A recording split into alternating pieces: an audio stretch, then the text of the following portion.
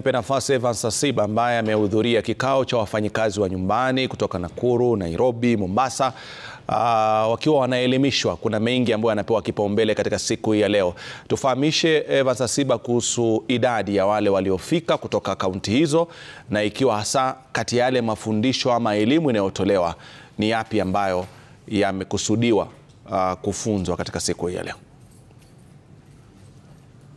Naam, Rashid, uliosema ni hakika kwamba kutoka kaunti hizo nne wote wamekongamana katika kaunti ya Nakuru wakizungumzia swala nzima la haki zao na vilevile tu masala tofauti tofauti yanayowaathiri wakiwa kazini, lakini miongoni mwao pia kuna wale wakilishi wa serikali na vilevile tu uh, wale wanaowakilia kutoka kwa vyama vile vya kuwakilisha wafanyikazi wakiwa hapa. Lakini moja kwa moja, acha nizungumze na tuambie tu, ukianza kwa kujitaja pengine jina, tuambie mbona mkaja Nakuru hii leo na umuhimu wa kongamano hili ni upi?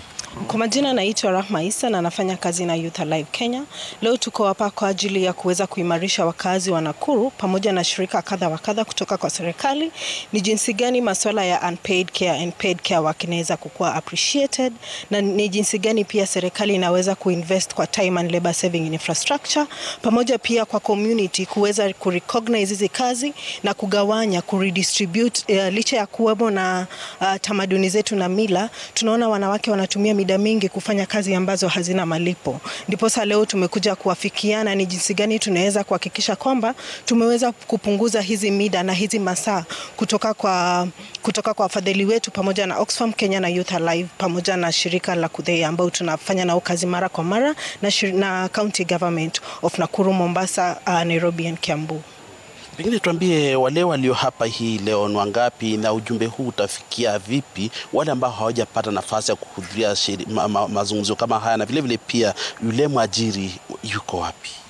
Leo tumeweza kuleta domestic, uh, domestic workers waajiri wa wafanyikazi uh, shirika kadha wa kadha ambazo zinazungumzia masuala ya haki pamoja na union kama KOTU, KUDHEA and also Ministry of Labor and Ministry of Gender. So tunaamini ikiweza kufikia kwa hawa wataweza kukua our trainers of trainers na wataweza kukua the mentors kwa ground, na pia kuna shirika ambazo community based organization ambao tunatarajia watakuwa the biggest champion kwa hasa kwa masuala ya care na hasa kwa masuala ya male engagement and couple section kuhakikisha kwamba hii ujumbe wanaweza kupata wakazi wote wa Nakuru. Tupate sauti ya pengine ya serikali, njio tu hapa, tukianza tu kwa kujitambulisha majina. Tuambie pengine majina yako na vilevile una, unatoka kutoka kusema kwamba serikali kuu au ya kaunti ni ipi, na umuhimu wenu au uwepo wenu hapa hivi una muhimu gani kwa hao tunaozungumzia wasichana na wale wakina mama wanaofanya kazi za nyumbani? Asante sana. Jina langu ni Selina Mkadha, nafanya kazi na kaunti ya Nakuru katika ofisi ya jinsia, na tuko hapa kuhamasishana ama kupata kutambua ni jinsi gani tunaweza saidia sana sana wale wafanyi kazi wa nyumbani.